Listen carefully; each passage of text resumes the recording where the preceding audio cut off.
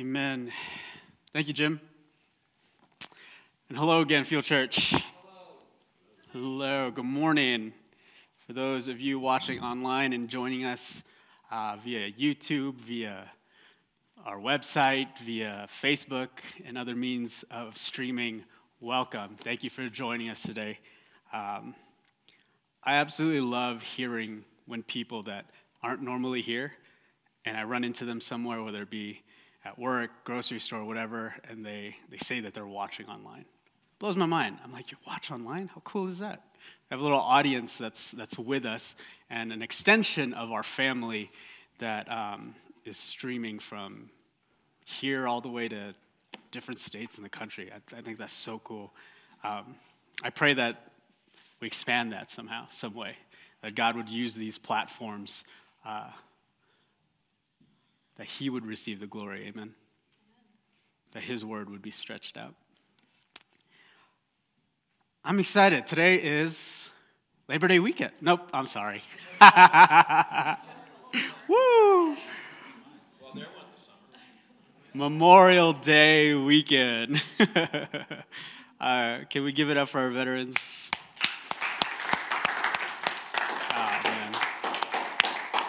If you're a veteran in this place or have family members uh, that you represent as uh, people in the military, would you please stand up? Veterans. Veterans. Yes.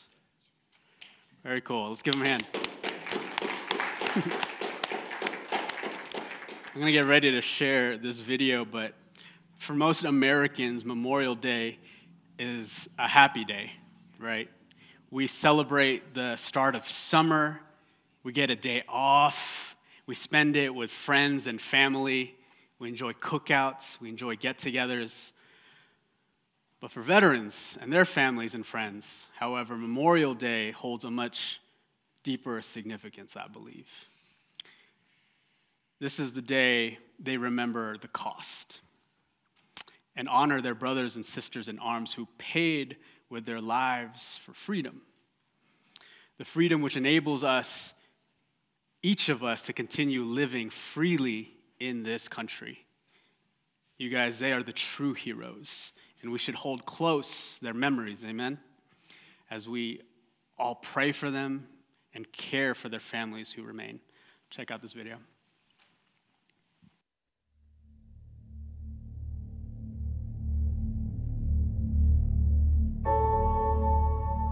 From day one, we were taught the meaning of sacrifice.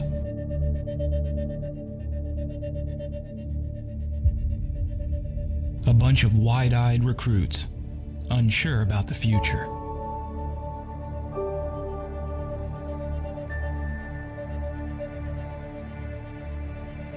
Those who came before us confronted their mortality. They recognized the honor of sacrificing for an idea bigger than ourselves.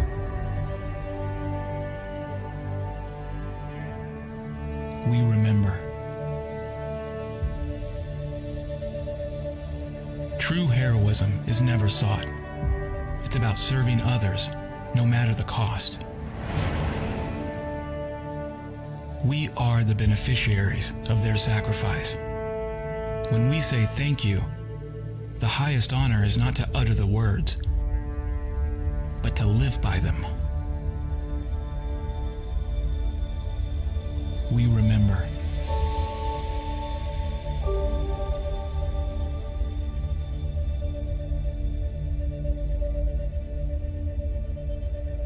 And while our brothers and sisters might be gone, they will never be forgotten we remember.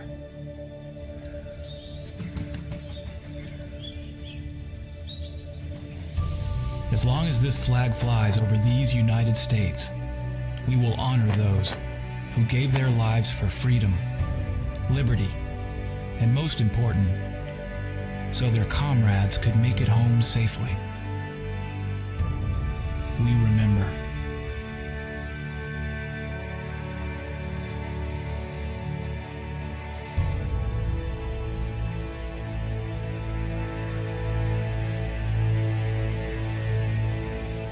Those who made the ultimate sacrifice, we remember.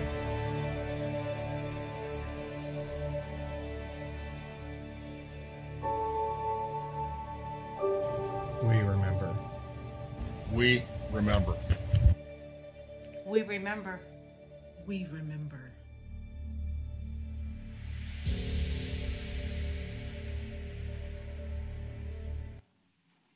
That was cool to see some of that footage, right?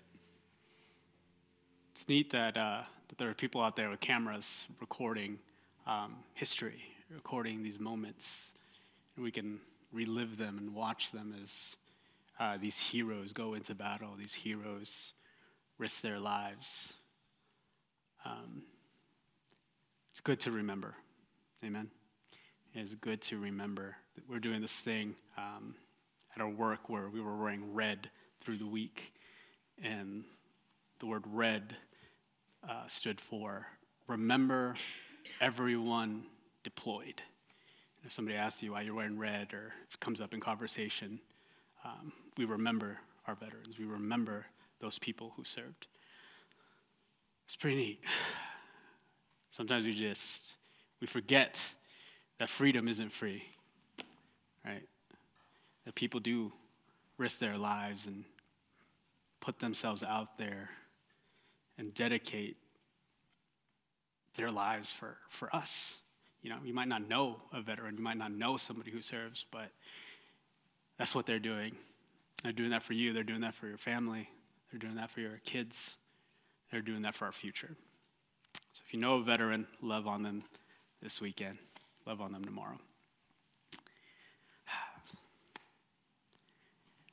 How cool was it that uh, Joy was able to teach last Sunday? Can we get up for Joy? Joy, I know that wasn't the easiest thing for you to do, but I'm glad you did it, and I look forward to many more. uh, but today we're going to continue on with our study in the book of John, the letters uh, that he wrote to the church. And today we will be going through uh, chapter 4. So if you have your Bibles, turn with me to 1 John chapter 4. And today I have titled the message, Love in Action. Love in Action. Uh, and this, this came to me as I was studying because one of the first um, street witnessing, evangelism, uh, outreaches I've ever been a part of was with a ministry called Lena. And this was in Redwood City, California, and it stood for Love in Action. And it was cool. Redwood City had a huge problem. Um, uh, is it a problem? I don't know if that's the right word. But there was a lot of homeless people. And it's just, they're everywhere there. And if you're a resident there, you just, just tears your heart out. There's just so many. Um, living in alleyways, living behind dumpsters, living in tents at the park. Um, and this ministry called Love in Action has this whole building, right? And it didn't matter who you were, what church you were part of, all they cared about was people loving people in the name of Jesus. And they had this whole, almost like a little mini factory, right? That you could sleep in, that you could worship in, that you could pray in, you could bring a team, um, you could be there by yourself. But inside this building were resources blankets, food kits, Bibles, tracts. And there was nobody in there facilitating. If you had a heart to minister, if you had a heart to love on somebody, if you had a heart um, to, to go, this ministry gave you all the resources you needed. So we took a small group, we spent the night there, we prepped, and then we just went out into Redwood City loving on people. It was literally love in action. It was one of my first times that I got to share um, the love of Jesus with somebody by giving them a blanket, by giving them a Bible, by praying with them. People who felt abandoned, who felt like outcasts. Um, got to meet people who love Jesus, and, and that reflected who they are on the inside, and they shared that with people.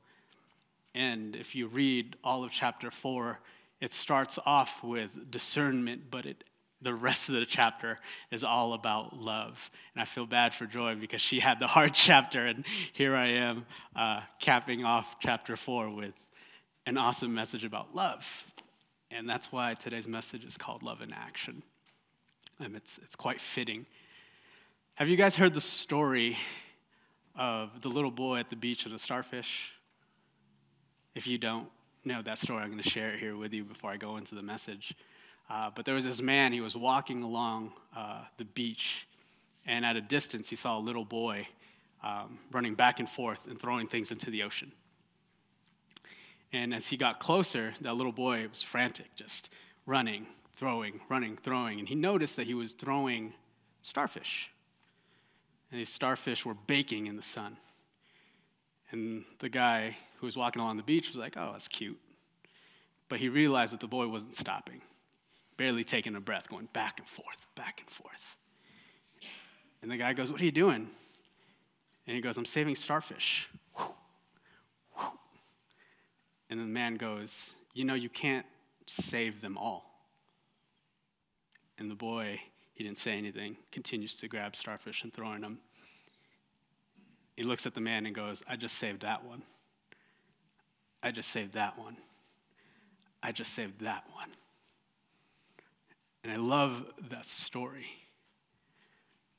You know, if the body worked together, if the body moved in action, in love, it's not about Ken saving everybody on this planet, but it's about us as a body working together, loving on people, sharing the gospel, sharing truth, sharing love, that people might come to know the loving grace of Jesus and what he came to do for each and every one of us. Turn with me to 1 John 4 1 through 3. In 1 John 2, I spoke on that chapter. John warns us about the Antichrist, and we broke that down a few messages ago. Antichrist is a combination of two Greek words, right? Anti, which means instead of or against, and Christo, which means the anointed one. You put those together, Antichrist, meaning those who seek to take the place of Christ, Christ as we know, the anointed one. In the opening of chapter 4, we move from warning to action. Let's read.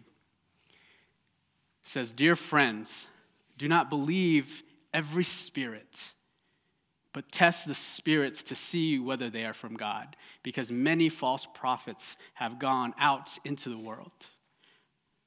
Verse 2 This is how you can recognize the Spirit of God. Every spirit that acknowledges that Jesus Christ has come in the flesh is from God. But every spirit that does not acknowledge Jesus is not from God. This is the spirit of the Antichrist, which you have heard is coming and even now is already in the world. Here's a little bit of background. During the time of the early church, there were individuals who claimed to speak on behalf of God but preached false teaching.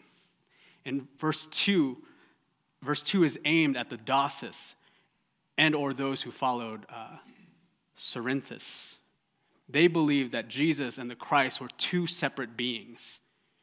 And if we follow the letters, John is careful to use the name and the title of Jesus Christ together to clearly express the complete union of those two titles in one person.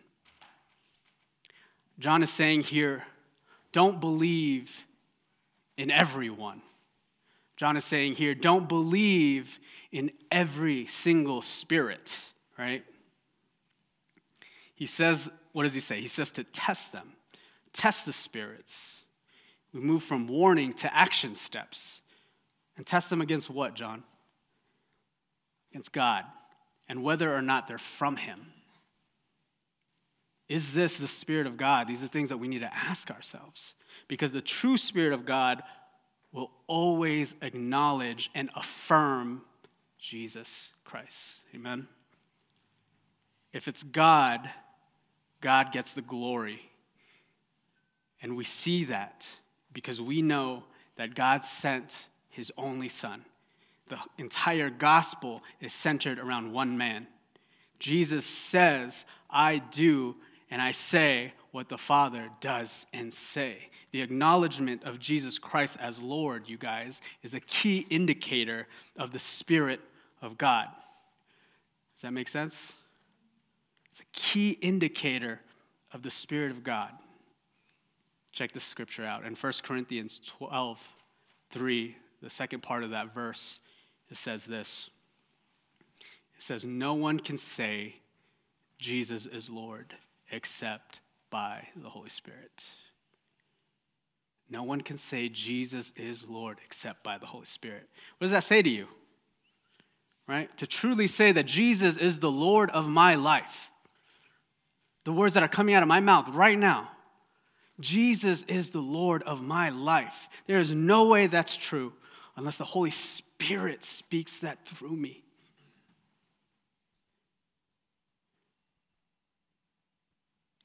it acknowledges and affirms the Spirit of God. The Holy Spirit is our advocate, and in that relationship, it produces faith, it produces hope, it produces belief. That's not on our own strength, no matter how much you think that is. when we say Jesus is Lord, you could see that in our lives. You can see that in our fruit. You can see it in how we love. You can see it in how we make decisions and how we believe. It has to acknowledge Jesus. John is giving us action steps, and he says, This is how you know. This is how you test. In other words, this is how you discern, right? When this is the center of the Spirit, Jesus being born of the Spirit with, mirac- with a miraculous virgin birth. Jesus coming as fully man and as fully God. His death and his resurrection and his sacrifice is prophecy and the plan that God the Father put into action to save us from sin and to give us eternal life. To deny that or teach against that is not of the Spirit of God and it downplays who Jesus is and God's power and love for us. I don't know if I said this before. Um, excuse me if I did. So much that I have to keep up in my brain. but I think about purgatory. Have I said this before? Okay. Think about purgatory, right, in the Catholic faith. Purgatory says that after death, there is this place that you go. And the only way out of it is what?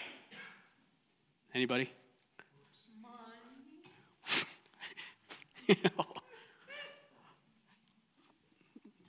holy, you got to be prayed out.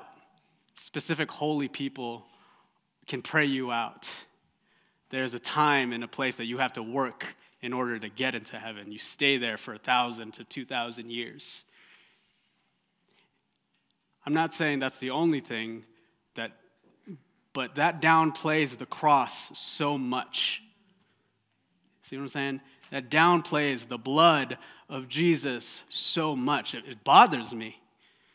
I don't like having that conversation because what did Jesus die for? Why was his blood spilled? Why was his body broken? What are all these prophecies? Is he the Son of God or is he not? Is there power in his sacrifice, in his death, in his resurrection, in his life? Don't tell me I have to work a thousand years before I enter paradise because of Jesus' sacrifice. No way.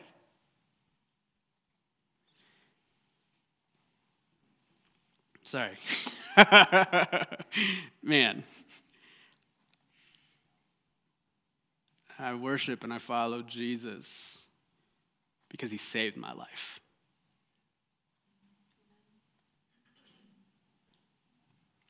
And the Antichrist will tell you otherwise. When someone or something has a spirit that comes against faith, John is saying, stop and discern. Test it. Does it acknowledge? Does it affirm? Does it lift up the name of Jesus? Allow the Holy Spirit to govern your thoughts. I know that's hard sometimes. sometimes I, I realize in the midst, in the moment, when I'm trying to make a decision, because I'm trying to make it right then and there, and I haven't even tuned into God. I haven't even tuned into the Holy Spirit because I'm rushing to make this decision. I haven't brought it before the Lord. And if you're that way, if you're feeling dry, you guys, we need to ask God to fill us. We need to allow Him to take us back to that well and fill us up, that we might be attuned to what he's saying, that, what, that we might be able to discern what's going around us, what's being taught, the spirits of things that are trying to invade our memory, our minds, our hearts, messages that are quote unquote spiritual. Does it affirm Jesus? Is God in the middle of it, or is he not? Continuing on in 1 John 4 4. 1 John 4 4. It says, You, dear children, are from God and have overcome them because the one who is in you is greater than the one who is in the world. Can we say that together? Because the one who is in you is greater than the one who is in the world. Amen. You guys, the Spirit of God empowers you to overcome the enemy. Not only is John saying, discern, pray, be cautious, but he's saying that the Spirit inside of you empowers you to overcome the enemy. And I've been saying this every time I come up here. Again, it's about the Spirit. We are spiritual beings. We can't deny that. And we have to live as such. In Romans 8 9, it says this You, however, are not in the realm of the flesh, but are in the realm of the Spirit, in, if indeed the Spirit of God lives in you. For those who have made Jesus the Lord of their lives, this is our reality. This is true about us. It's about the Spirit. Continue on, 1 John 4 5 through 6. It says, They are from the world and therefore speak from the viewpoint of the world, and the world listens to them. Verse 6 We are from God, and whoever knows God listens to us, but whoever is not from God does not listen to us. This is how we recognize the spirit of truth and the spirit of falsehood.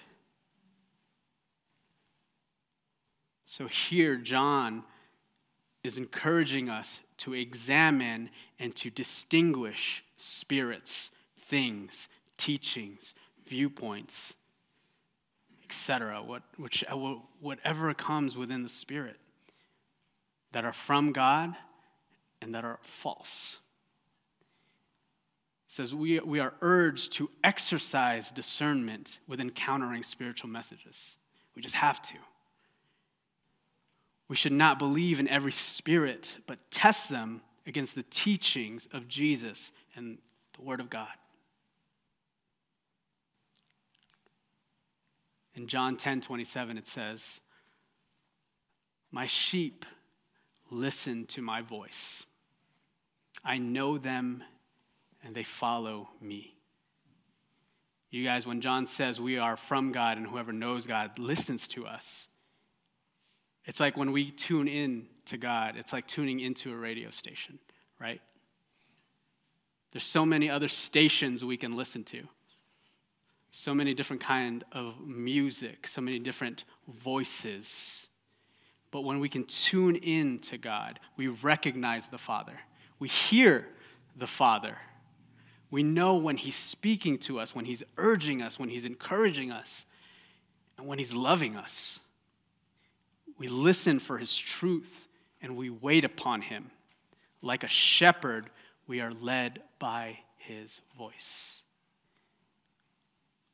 Why? Because right after verse 27, Jesus says this to us.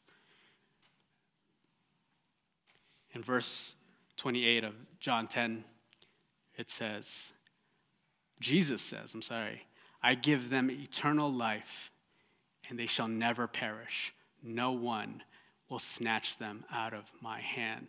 Are you tuning into God? Are you listening to what He says about you? Have you tuned this part out? You guys, these are in bold red letters. Jesus says, My people listen to me. My people hear me. My people follow me. They know my voice. Why? Because I, Jesus, give them eternal life. They shall never perish, and no one will snatch them out of my hand. You guys, that is a statement, that is a promise, that is a reality for each and every one of us who call upon the name of Jesus. Nobody can take us away from his hand.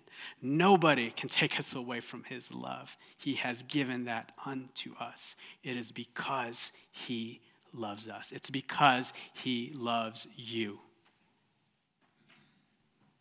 You hear what I'm saying today? he loves you. He absolutely loves you. And we go from this, this, this action step, from warning to action in John, to now John is about to dive into love. John is about to dive into the reasons why we do what we do, why we claim what we claim, why we say who we say he is and who we are, all encapsulated with love. In 1 John 4 7, it says this It says, Dear friends, let us love one another for love comes from God. Everyone who loves has been born of God. The word for love here, it's the same word for love that Joy taught uh, last Sunday, but it's in the Greek, it's agape. Agape. And agape is defined as this it is the highest, most pure form of love. Agape love is a sacrificial love that unites and heals. Agape love is unconcerned with the self and concerned with the greatest good of another. Agape love isn't born just out of emotions, feelings, familiarity, or attraction, but from the will and as a choice. Agape love requires faithfulness, commitment, and sacrifice without expecting anything in return.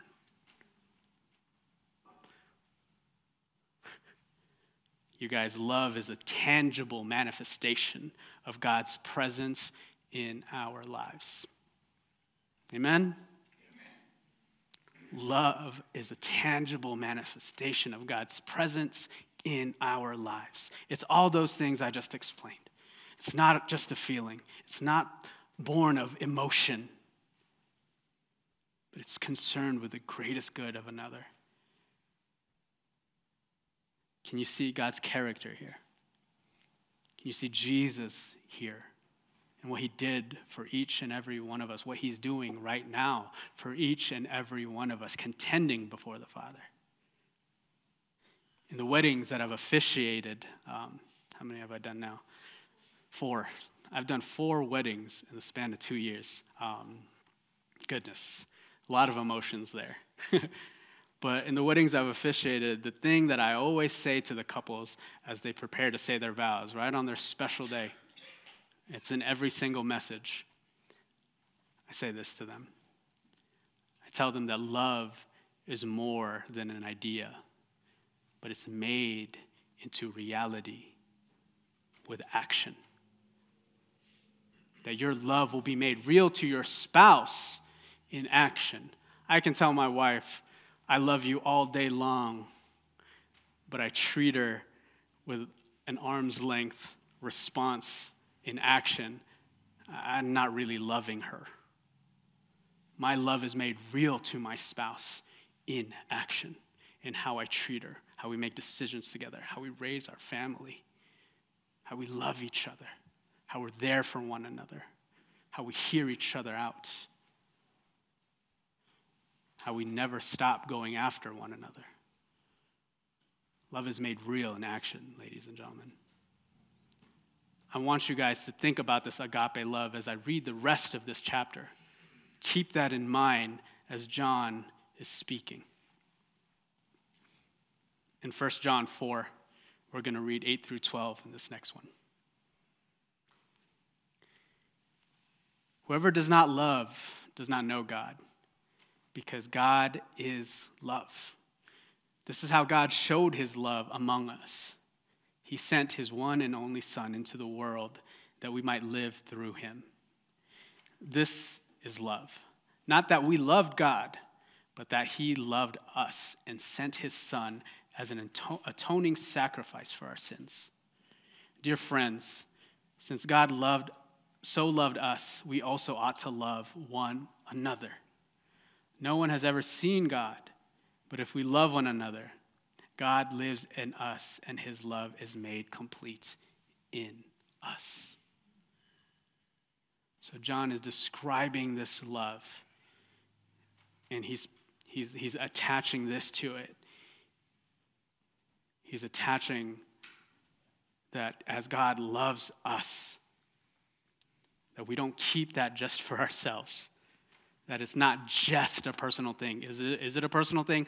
Absolutely. But it's something to be shared, it's something to be done with others. We're not, not meant to be an island. We're not meant to be stuck in a basement. We're not supposed to be these people who are just about ourselves. But as believers, God's love is made complete when we love others. Can you imagine God saying that to you?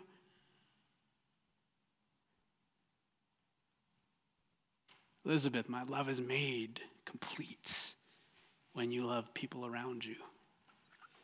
Elizabeth, the love that God gives to you, that He shares with you, that's yours forever, He's saying that that's made whole when you love the people around you, when you love your kids, when you love your neighbors, when you love your husband, when you love people at the church, when you love some random guy who's asking for money on the street. God's love is made complete when you share that with somebody else.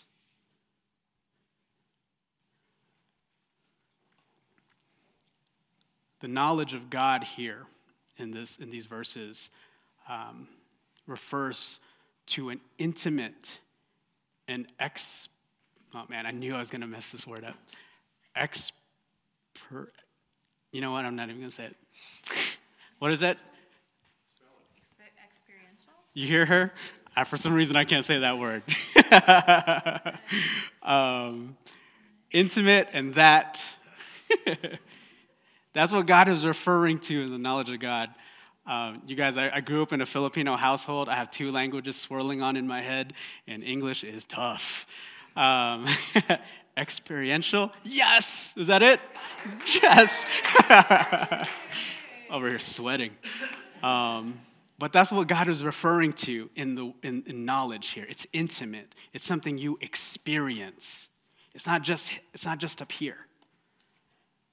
It's more than just information about God. When John says, Whoever does not love does not know God, he's not saying that those who do not love are not born of God. Yet he is saying it's impossible to know God intimately without loving others. Because why? Because God is love. Y'all taking notes? Write that one down. We can't fully know Him, right? if we don't love others. Anyone in whom God dwells reflects His character, and that character is love to claim to know God while failing to love others is a false claim. I don't know how all of this is making you feel. But if we fail to love the people around us, to say that we love God, I'm not the one to bring conviction, I'm not the one to judge. But if I were to live that kind of lifestyle, I wouldn't be able to sleep at night. I wouldn't be able to, to fully believe in what I believe in if the same love that God has given me, I can't express or share with another. And I know, don't get me wrong, I know our world is fallen. I know there's been traumatic things that happen in people's lives, and it's hard to love sometimes. But as you get to know the source of love, as you get to know who is love, who is this agape love that the Bible speaks of, God will and wants to and desires to heal your heart. God wants to enable you to love when it's difficult to love. It doesn't say this is supposed to be easy, but God is with you through it. Amen.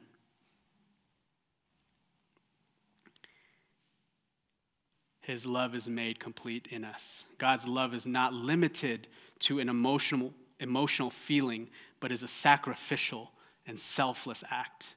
When believers fully embrace this love and allow it to transform their lives, it enables us to love others in the same manner.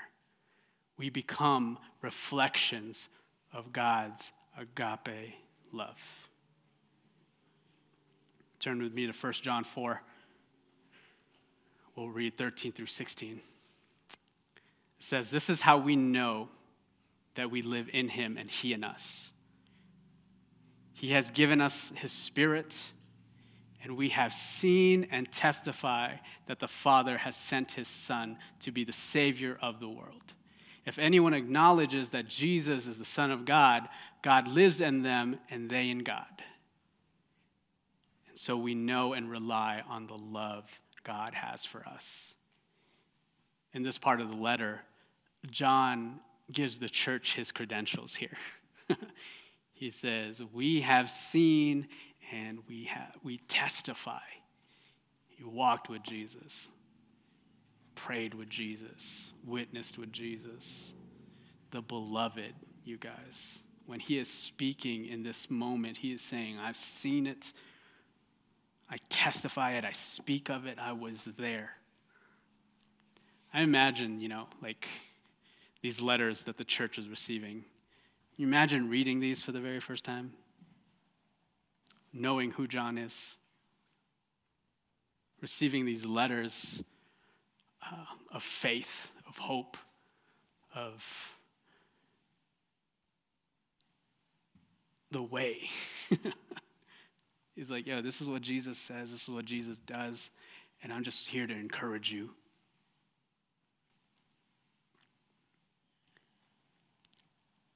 Because God has given us his spirit, is what John is saying. God has given us his spirit.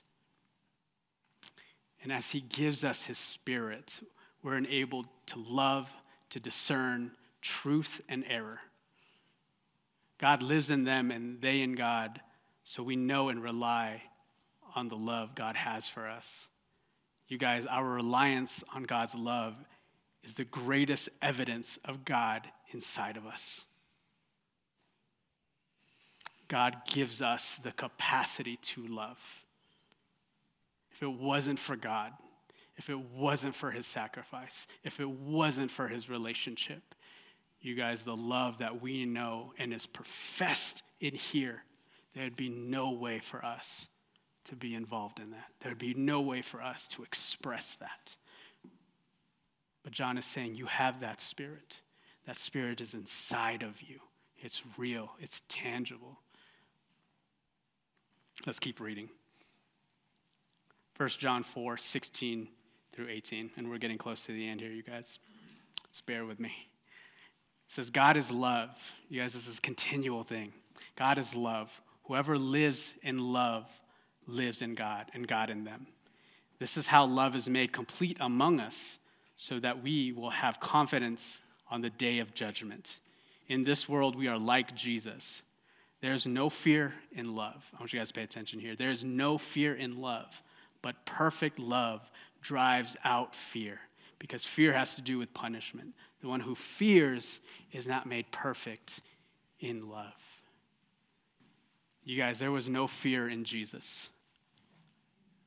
even though he cried out, even though his body was beaten and broken, even though his blood was spilled, even though he hung on a cross. Jesus, you guys, was not being punished. The Bible is correct when it says fear has to do with punishment. But God was not punishing his son Jesus. He gave up his son that we might be set free. Jesus sacrificed his righteousness that he might take on the wrath of God that was ours to take because of sin. And he traded his righteousness and fulfilled the law and the prophecy so we might take on his righteousness and be made clean, to be made right, to be justified before a holy God, and to freely enter into his presence and into eternal life. Some of these things I'm saying you guys already know.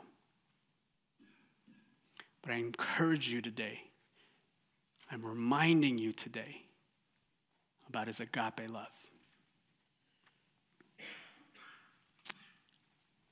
That love that's sacrificial. That love that unites and heals. That love that is unconcerned with self and concerned with the greatest good of another. Let's move on to John, 1 John 4 19 through 21. John says here, We love because he first loved us. Whoever claims to love God yet hates a brother or a sister is a liar. For whoever does not love their brother and sisters whom they have seen cannot love God whom they have not seen. And he has given us this command anyone who loves God must also love their brother and sister. You guys, agape love is love that comes from God. God's love isn't sentimental, but it's a part of his character. It's not a romantic movie, it's not a beautiful poem, it's not a Billboard Top 100 love song. God's love comes from an outpouring of who he is. Amen. God's love comes from an outpouring of who he is. When John says God is love, in this chapter, he is saying God is the source of agape love. We are called to love God and to love others with agape love. Like I said earlier, agape love is a choice, right? You make this choice. Love is an action that strives for another for another's highest good. Love is demonstrated in action. And God set that standard. In Romans 5 8, it says, But God demonstrates his own love for us in this while we were still sinners, Christ died for us. According to the law, if we're in sin, if sin is all over us, if that's how we operate in life, where are we headed? What's, what's the consequences of our sin? It's death. But God demonstrates his love in action here in this verse where he says, God had, while we were still sinners, Christ died for us. Not when we confess, not when we were right standing with him, but while we were still sinners, he died for us. You guys, we will be known for the way that we love others. And that love is evidence in our faith. God's initiative, which is laid out for us in His Word, is how He never stopped going after us, how He sacrificed His Son for us. And that should motivate us and inspire us to love and love one another. Amen. I want you guys to stand with me here.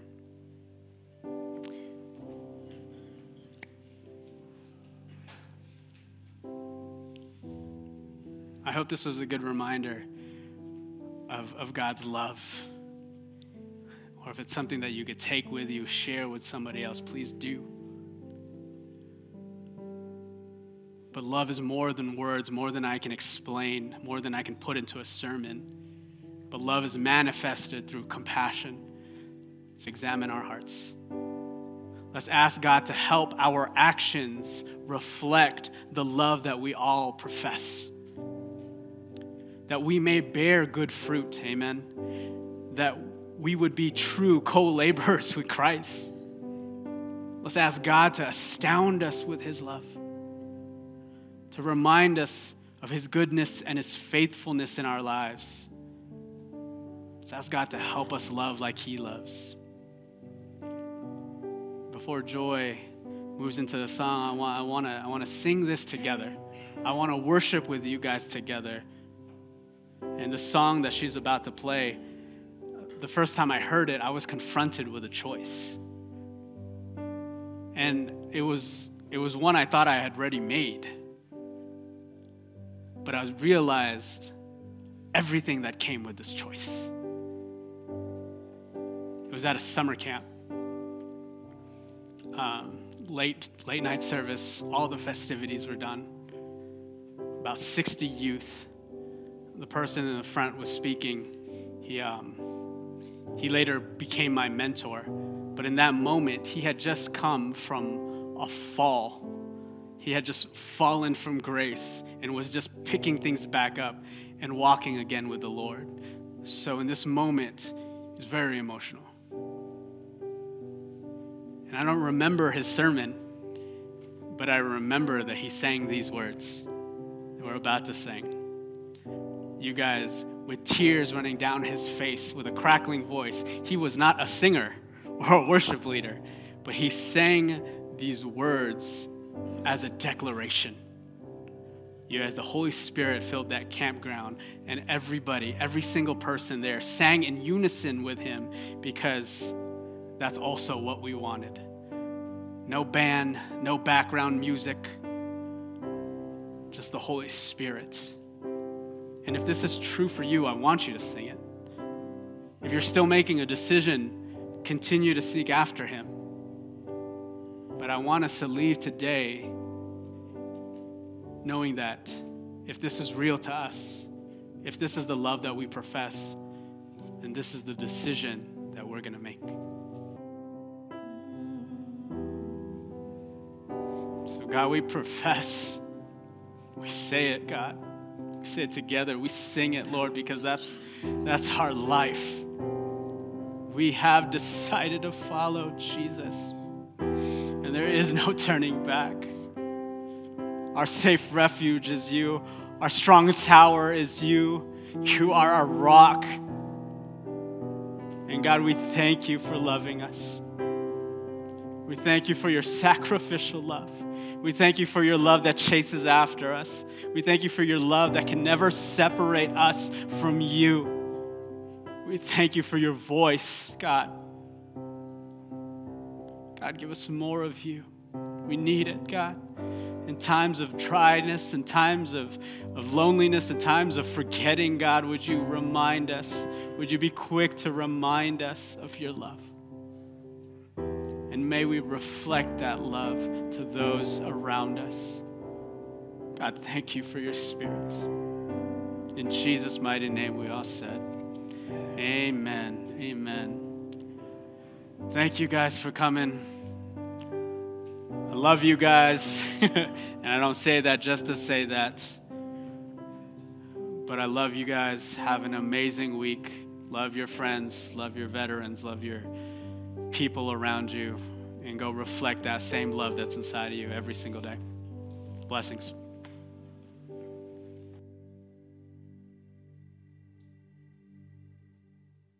Thank you so much for tuning in to the original Fuel Church YouTube and being a part of what we're doing here at Fuel.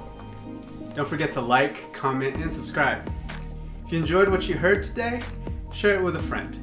And if you'd like to support Fuel and Fuel International, information to do so will be in the description below. Have an awesome day. Look forward to seeing you soon.